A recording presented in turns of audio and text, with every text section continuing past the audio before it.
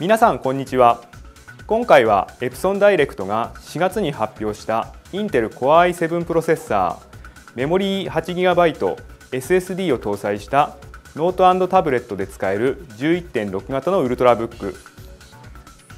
エンデバー NY10S の使いやすさをチェックしていきます。エンデバー NY10S 薄さは1円玉硬貨の直径より薄い約 19.8mm 重さは約 1.19kg の軽量ボディ。さらに約6時間稼働と持ち運びに適したウルトラブックです。ディスプレイをスライドさせることでノートスタイルからタブレットスタイルに形が変わります。ディスプレイを起こして使うノート PC スタイルはお好みに合わせて液晶の角度を自由に変えられます。キーボードは打ちやすくメールなどの文字入力もスムーズです。ディスプレイを後方に倒してスライドすればタブレットに早変わり。静電容量方式で10点マルチタッチに対応。タッチの反応が良いので Windows 8のモダン UI との相性も抜群です。またタブレット時にはソフトウェアキーボードが使えます。ディスプレイには高精細なフル HD に対応した11.6型の高視野角な IPS 方式を採用。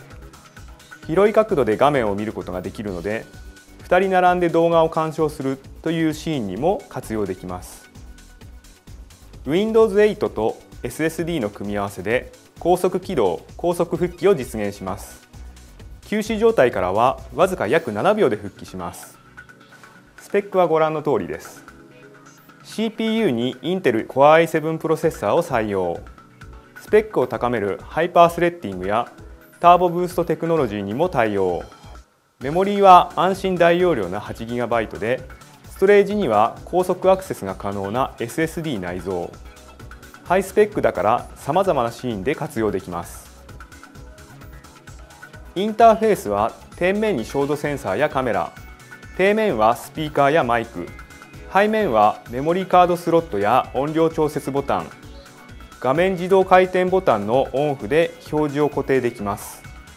右側面にミニ HDMI USB3.0 や電源スイッチを配置。左側面に有線 LAN がついています。いかがでしょうか？エプソンダイレクトのエンデバー NY10S はスタイルに合わせていろいろな使い方ができるウルトラブックです。あなたもぜひ使ってみてください。